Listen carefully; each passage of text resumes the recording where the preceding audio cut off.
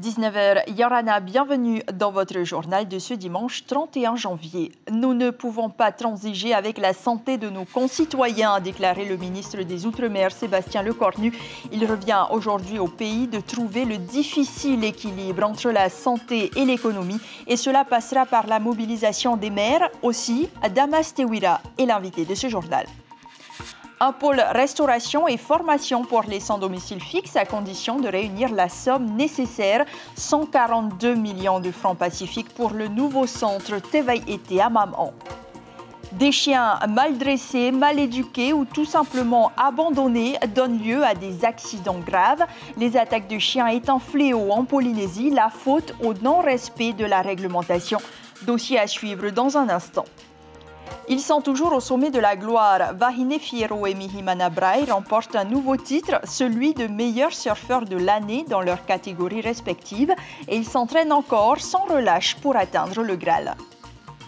La lèpre n'a cessé de diminuer. La léproserie de Orofara ne se justifiait plus. C'est une déclaration signée Jacques Hydrolet en 1990. Cette année-là, on recensait 32 malades pour 168 000 habitants. C'est notre Fénois d'antan du dimanche. Sébastien Lecornu, le ministre des Outre-mer, s'est exceptionnellement adressé aux Polynésiens. Un discours de 8 minutes pour justifier les décisions prises dans l'Hexagone. Conscient de l'impact économique que cela engendre, a-t-il déclaré, mais la santé des habitants doit, doit primer sur tout le reste. Le citoyen dit oui, manifestement. Stéphane Ratino et Sandroli. Bien sûr, ce n'est pas là une vérité scientifique, mais à écouter au hasard des rues la parole des citoyens, il est comme une évidence. Il n'y a pas de débat, la santé doit primer, à pas bêter, la fermeture de la frontière est vue comme une bonne mesure. Euh, je trouve que c'est une bonne chose. Pour être passé à l'hôpital six jours en réanimation, je trouve que c'est bien. On ne sait pas sur qui ça peut tomber. Demain, ça peut être toi. Il vaut mieux laisser les étrangers chez eux, laisser nous en paix que cette, maladie propage. La maladie, c'est inquiétant déjà, hein, de ne pas propager. C'est une bonne chose, hein, qu'est-ce que tu veux. Hein? Donc, il, faut, il faut choisir, soit c'est la maladie et puis euh, avoir beaucoup de gens euh, en difficulté, et sinon euh, ben, c'est la commercialisation. Mesdames, Messieurs, mes chers compatriotes. Le ministre des Outre-mer a pris la parole aujourd'hui. Il a confirmé les orientations du gouvernement. Auparavant, le président du pays s'est entretenu avec ce dernier. Le ministre explique les raisons de ces décisions. Aujourd'hui, la menace est grande pour la Polynésie française. Si l'un des variants venait à être détecté, nous pourrions être confrontés à une explosion des cas, à une embolie complète de son système hospitalier. Aussi, je vous le dis en toute franchise, si les variants devaient circuler activement en France, dans l'Hexagone et dans quelques territoires ultramarins en même temps, nous ne pourrions peut-être pas soutenir la Polynésie française comme nous l'avons fait auparavant. L'envoi de renforts nationaux pourrait être malheureusement trop complexe à mettre en œuvre protéger le pays, une approbation, mais à Moréa, si le citoyen partage cette perspective sanitaire, la donne économique l'interpelle, l'île sœur a une relation étroite avec les flux touristiques. C'est dommage, quoi, parce que bon, euh, les gens ne viennent pas, euh, il y a un problème. Quoi. Les gens ici, il y, a beaucoup de personnes, de, comme on dit, les Tupuna. On veut préserver aussi leur santé, on veut, on veut, le, le bien de tous, quoi. Pour résumer, le Fénois ne sera relié au reste du monde que pour des motifs impérieux. Avec la Covid-19, les habitudes sédentaires appartiennent désormais au quotidien universel. Et comment les communes vont-elles s'organiser? Nous accueillons le maire de Mahina, Damastewira Yorana. Merci d'être là ce soir. Est-ce que pour vous aussi, la santé doit primer sur le développement économique?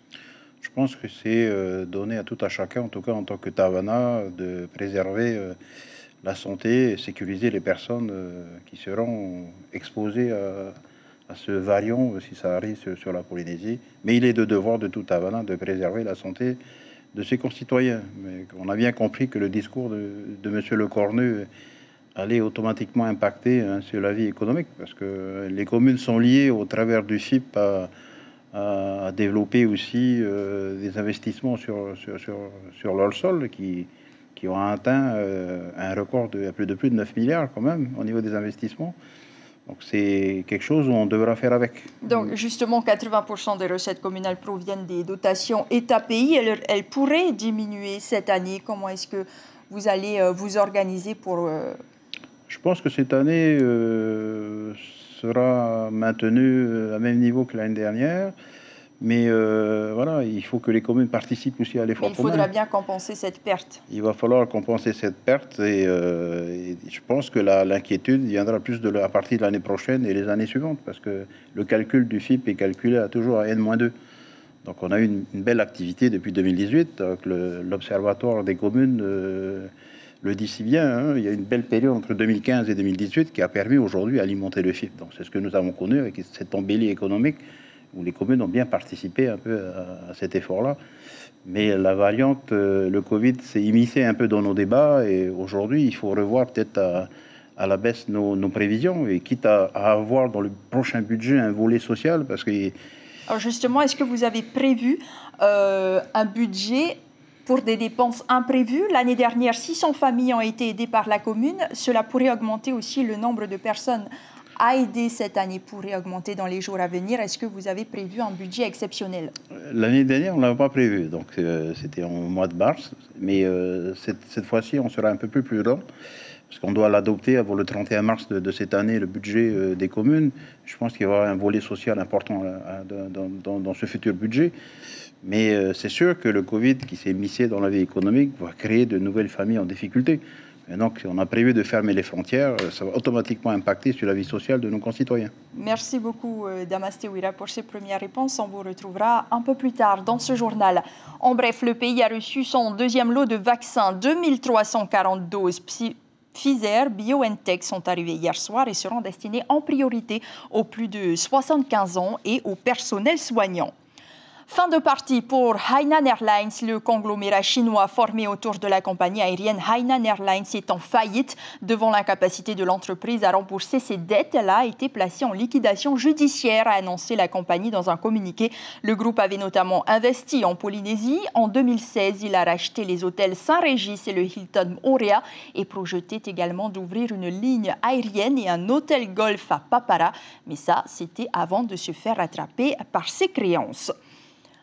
Plus d'un an d'attente et de combat pour enfin pouvoir crier victoire. La construction d'un nouveau centre de jour pour accueillir les sans domicile fixe verra bien le jour. Le pays vient de mettre à disposition de l'Église catholique un terrain, un lieu essentiel pour les 300 SDF de la capitale qui ont pour refuge aujourd'hui le presbytère Lucille Guichet-Tirao, Hubert Yao. C'est ici, sur ces 1700 mètres carrés de terrain situé à Mamao, que sera bientôt édifié le centre Teveille et le nouveau centre de jour pour sans domicile fixe.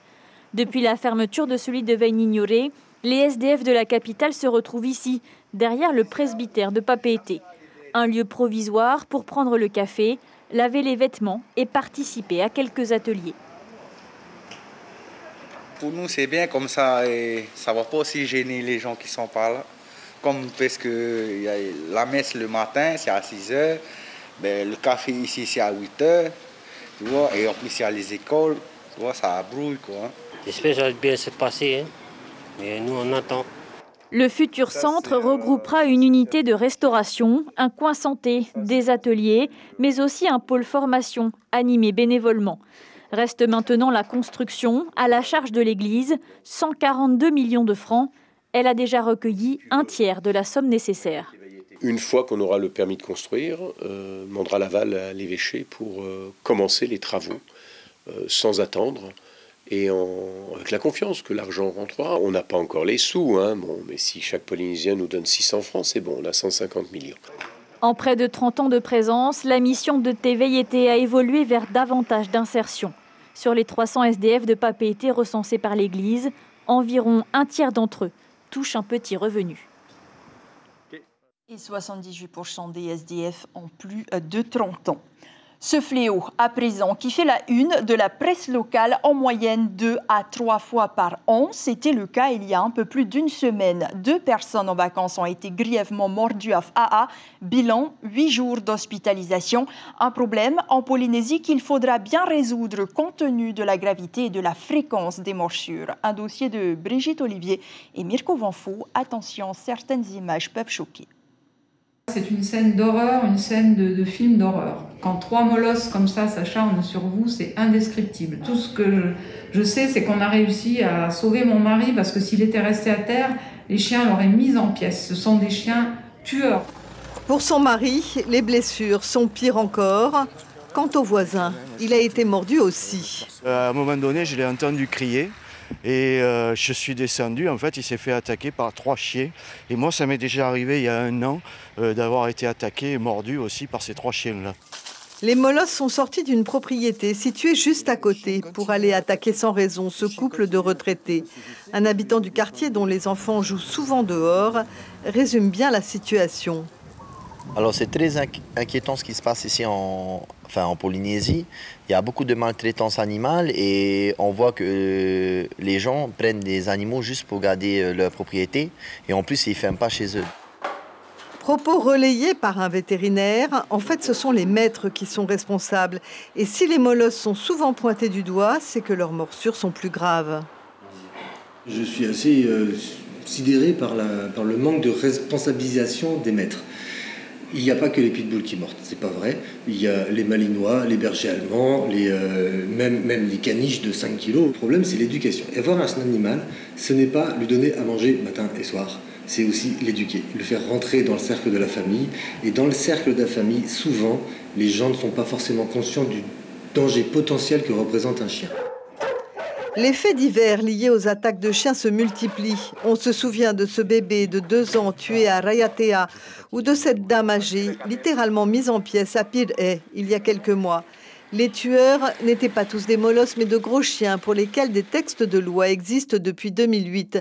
Problème, ils ne sont pas appliqués.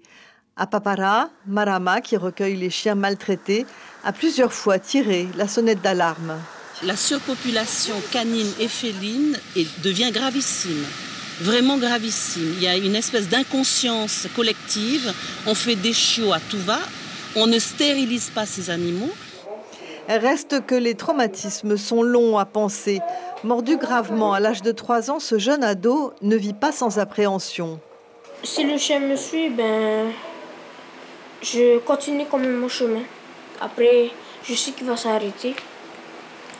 Et mais, euh, mais je me méfie beaucoup. Pour l'emmener aux urgences, euh, le chirurgien m'avait dit qu'il ne pouvait pas l'amener en fait. Qu'il ne pouvait pas fermer la plaie parce qu'elle était trop euh, elle était trop grande. On a dû appeler à Taoné pour appeler un autre chirurgien. Tahiti, ses plages, ses parcs, ses vallées, ses rues deviennent donc un grand terrain de jeu pour des chiens mal aimés, maltraités, mal éduqués parfois affamés et battus pour devenir agressifs. Je ne peux pas attester qu'un animal, quel qu'il soit, ne présente aucun danger. Mais ce n'est pas envisageable dans un espace public qu'un chien sorte d'une propriété privée pour s'approprier euh, quelques mètres carrés de plage qui, appartiennent à tout le monde. Et d'autant plus que si c'est un enfant qui se balade, eh ben, il ne peut pas partir en courant, en criant, ce qui va déclencher un réflexe de prédation et ça peut très mal se finir. Le chien est le meilleur ami de l'homme, qu'il soit un pitbull ou un caniche, mais l'inverse n'est pas forcément vrai, et toutes les îles sont contaminées par ses propriétaires inconscients et irrespectueux. Et sachez que les propriétaires de chiens dits dangereux qui ne respectent pas la réglementation s'exposent à des sanctions pénales, une amende pouvant atteindre plus d'un million sept cent mille francs et jusqu'à six mois d'emprisonnement. Coup hier soir à Mahina, deux équipes de recherche, soit neuf pompiers de Pirey de Mahina, ont été déployés suite à un signalement au centre technique d'appel pour la disparition suspecte de cinq personnes. Elles ont été aperçues en bas des falaises du Tara, mais le signalement n'a pas fait état d'une mise en danger. À 22 heures, les recherches entreprises depuis 18 heures n'ont rien donné. Plus de peur que de mal. Heremoana Tahiti, un pompier, nous en dit plus au micro de Christian Dezo. D'après les informations des personnes qui ont alerté le GACC, ils seraient entrés dans la grotte et ne seraient pas sortis. Là, on va essayer de lever le doute, de faire la reconnaissance entière du site. Et si on voit personne, ben, on va arrêter les recherches, on attendra demain. Damastewira, très rapidement, cet incident a mobilisé euh, d'importants moyens pendant 4 heures. Est-ce que vous appelez à la prudence ce soir?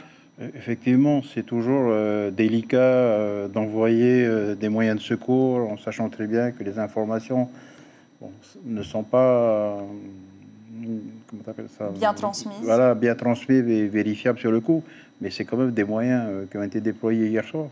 Bon, tant mieux. Les gens, euh, il n'y a pas eu de, plainte, en, tout cas au niveau des familles. Mais j'appelle quand même à la prudence. Quand il y a des signalements à faire, faites-le bien, faites-le correctement. Euh, ça nous évitera d'envoyer des, des, pompiers à la limite pour rien. Quoi. Merci beaucoup, Damas d'avoir accepté notre invitation ce soir. Nous allons surfer maintenant avec deux pros. Ils ne vous sont pas inconnus. Vahine Fierro et Mihimana Braille, tous deux élus meilleurs athlètes, chacun dans sa catégorie des trophées du sport, après avoir remporté la Tapuna Master. Pour ces deux champions, chaque jour est une occasion de s'entraîner pour maintenir son niveau. David Chang et Mirko Vanfo les ont rencontrés à Papenou. On est dimanche et Vahine Fierro est à l'entraînement. Ce trophée remporté cette semaine, c'est la motivation et la reconnaissance nécessaires après l'année 2020. La surfeuse a déjà fait ses preuves en Polynésie. Le plus dur maintenant, c'est de garder le niveau pour surfer à l'étranger. Pour le moment, mes objectifs, ben, c'est de me qualifier pour les JO 2021 au Japon. J'ai toujours une place dans le team euh, français et euh, me qualifier sur le CT comme Michel Bourrez et Jérémy Flores. Donc euh, voilà, c'est un peu mes deux gros objectifs pour euh, ben, les années à venir. Euh. Son surf est toujours aussi incisif. Pas de repos non plus pour Mihimana. C'est la troisième fois qu'il est nominé au Trophée du sport, mais ce titre a une saveur toute particulière pour lui. C'est vraiment une reconnaissance et aussi au niveau de mon travail que j'ai fourni aussi pour l'année 2020. Bon, c'est sûr que les temps étaient difficiles pour tout le monde. Hein. Le plus difficile, c'est sûrement de rester au top niveau sans calendrier de compétition. Il faut essayer de se mettre des objectifs à, la, voilà, et à la journée en fait.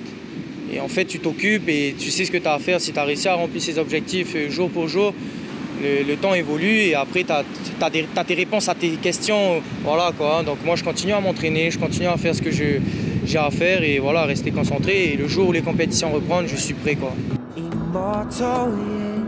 La WSL a prévu de se déplacer en Polynésie pour deux compétitions cette année. De quoi rester concentré une année de plus.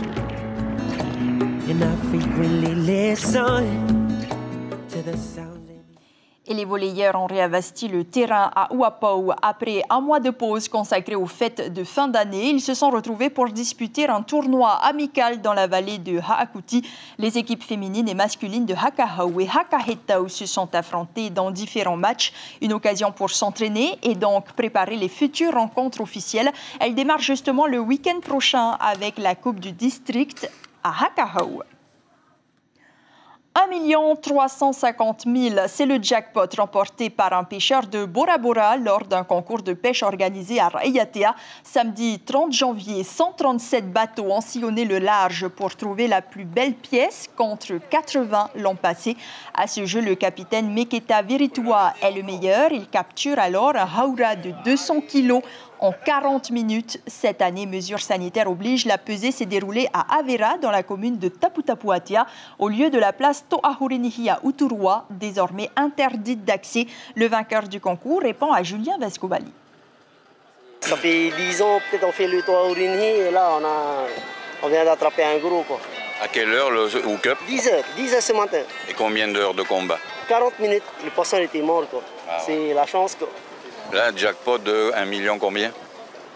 Soi-disant 1 million 350. La pesée et la remise des prix se sont tenues avec un nombre limité de pêcheurs. Et dans le cadre du traitement de l'information sportive sur notre antenne de Polynésie, la première, sachez qu'à partir du week-end prochain, le dimanche soir, nous vous proposerons tout Sport qui fera son grand retour avec aux commandes Maruki Duri et David Chong dimanche 7 février. Donc, et dès demain, vous avez rendez-vous avec une nouvelle série locale 100% divertissement, du rire, de l'ambiance, une touche artistique, un brin de culture, toutes les actualités people du Fénois et toujours plus d'humour pour finir la journée. C'est la promesse de ce nouveau moment de détente animé par Yepo et Maude, nos deux animatrices vedettes. Voici un extrait de ce que vous pourrez découvrir. Tu peux nous raconter une anecdote? Nous raconter une anecdote que tu as eue avec euh, ouais. Dwayne ou Jason? Ben, le premier fois que j'ai rencontré Dwayne, c'était c'était pas sur Fast and Furious, c'était sur Jumanji. Oh, Alors j'étais un assistant cameraman. OK. Et j'étais en train de porter tous les caméras et tout, comme j'étais assistant.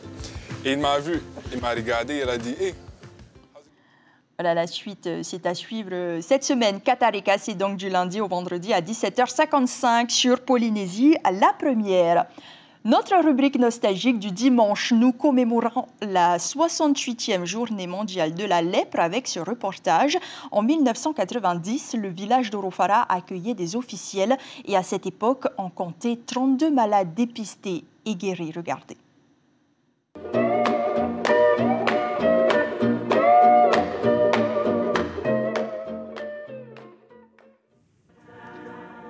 Dimanche matin, l'ancienne léproserie de Eurofara participait à la journée mondiale des lépreux.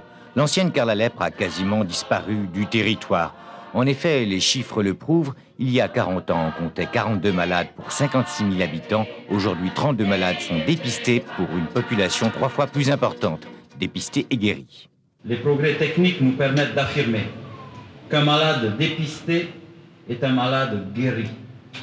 Comme il faut savoir que la, stérilisation d'un malade contagieux s'obtient en deux prises médicamenteuses seulement. Dès lors, l'isolement des malades dans ce qu'on appelait autrefois une léproserie est injustifié et injustifiable.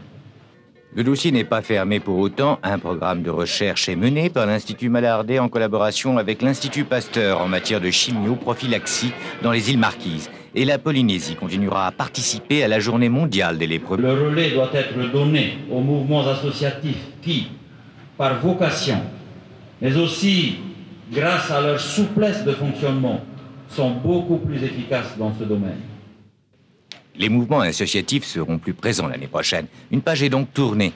Les lépreux guéris ont demandé de revivre dans le village d'Orofara. La décision n'est plus du ressort du ministère de la Santé, elle dépend du ministère des Affaires sociales. Et aujourd'hui, l'évolution de la lèpre est stable, mais la maladie continue d'infecter. En 2025, nouveaux cas ont été recensés, dont un enfant à 2-3 ans. C'est la fin de ce journal. Voici un rappel de l'information principale. Nous ne pouvons pas transiger avec la santé de nos concitoyens, a déclaré le ministre des Outre-mer dans une allocution adressée aux Polynésiens. Sébastien Lecornu a justifié les restrictions sanitaires effectives le 3 février en Polynésie et qui se traduisent par la fermeture des frontières aux territoires ultramarins et pays hors Union européenne. C'est un mal nécessaire pour que la Polynésie soit protégée et qu'elle puisse rouvrir au tourisme plus rapidement possible. Demain, une rencontre est prévue entre les autorités de l'État du pays et les professionnels du secteur touristique. L'actualité à venir, les mesures restrictives concernant les déplacements entre l'Hexagone et la Polynésie entreront en vigueur donc le 3 février. Coup d'envoi également du 18e Festival international du film océanien, la Maison de la Culture, avec des reportages et des invités exceptionnels chaque soir dans vos journaux télévisés. Et enfin, vous avez jusqu'au dimanche 7 février pour profiter des tarifs promotionnels du Salon du tourisme virtuel.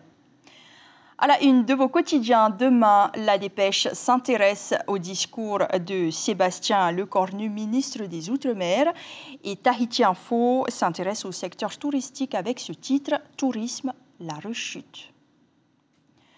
Ce carnet noir, avant de nous quitter, Maurice Pombrin dit Coco s'en est allé dans sa 89e année. Ancien collaborateur de Radio Tahiti dans les années 50, il a été emporté par la maladie. L'ensemble du personnel adresse ses condoléances à notre collègue Teva Pombrin et ses proches. Merci à toutes et à tous d'avoir suivi ce journal. Votre Tarena Maori puis un film franco-belge sont à suivre sur la première. Prenez soin de vous et très belle semaine. On se quitte en images sur l'eau dans la rade de Papeete.